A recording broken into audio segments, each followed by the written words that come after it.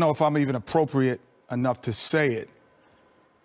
What the what the players are feeling and how they're feeling.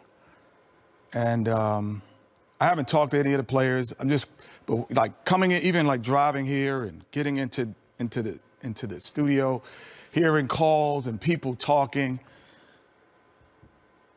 And for me, I think the biggest thing now is to kind of, as a black man, as a former player, I think it's for, best for me to support the players and just not be here tonight.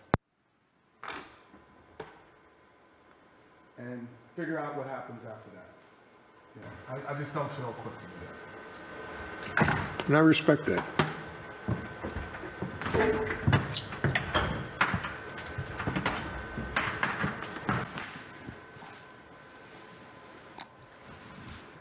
Shaquille.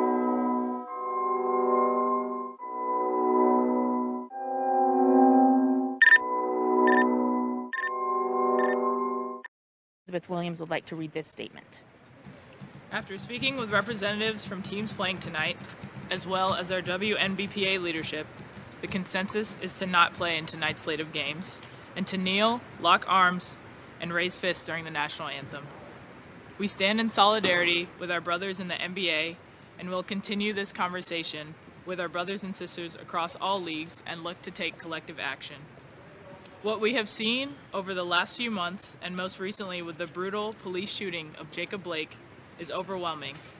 And while we hurt for Jacob and his community, we also have an opportunity to keep the focus on the issues and demand change. These moments are why it's important for our fans to stay focused, hear our voices, know our hearts, and connect the dots from what we say to what we do. We encourage everyone to go and register to vote now today. If you truly believe that Black Lives Matter, then vote. Go and complete the 2020 census now. Don't wait. If we wait, we don't make change. It matters. Your voice matters. Your vote matters.